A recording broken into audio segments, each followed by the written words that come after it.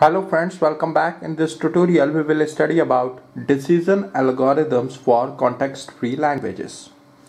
For a given context-free grammar G, there exists an algorithm to determine whether its language is empty or not. Now how we can determine that the language of a given context-free grammar G is empty or not. It is very simple. We will remove all useless symbols of grammar G. If start symbol is useless symbol in grammar G, then definitely its language is empty. Note that suppose there is some grammar G and whose language contains only empty string then also we will say that language of that grammar G is not empty because it contains one string that is empty string. Now, for a given context free grammar G, there exists an algorithm to decide whether its language is finite or infinite. For this, first we will remove all empty productions from grammar G. After this, we will remove unit productions and useless symbols from grammar G. It means grammar G is without empty productions, unit productions, and useless symbols. Right. Now, to how we will determine whether the language of grammar G is finite or infinite. For this, we will draw a directed graph whose nodes will be the variables of grammar G and there should be an edge from node A to node B. If there is a production of the form A derives alpha B beta, it means if variable B appears in right hand side of the production of variable a. Then in this directed graph there will be an edge from node A to node B. Right. If this directed graph contains any cycle then the language of grammar G is infinite.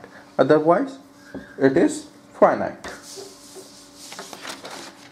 It would be more clear after this example. Suppose there is a grammar G whose productions are given here S derives AB, S derives A, A derives BC, A derives B, B derives C, C, B derives C. Now we will make a directed graph. Nodes of the graph will be the variables of this grammar G. Right. See this production S derives AB. Variables A and B appears right hand side of the production of variable S. So there should be edge from S to A and there should be another edge that is from node S to P. Right.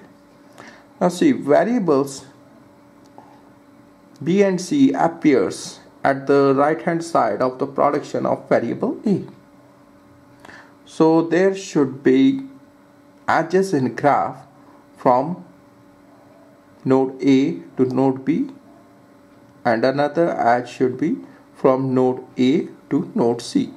Now see this production B derives CC. C appears at the right hand side of the production of variable B. So in graph there should be an edge from node B to node C. Now see this graph. This graph doesn't contain any cycle. So the language of this grammar G is finite. Now, after this,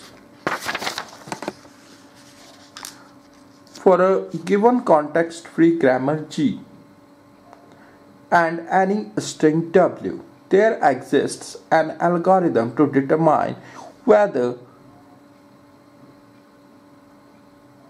string w belongs to the language of grammar G or not. For this, first of all, remove all uh, empty productions, unit productions and useless symbols from grammar G. To determine whether a particular string W is in language of grammar G, we will first remove all empty productions, unit productions and useless symbols from grammar G.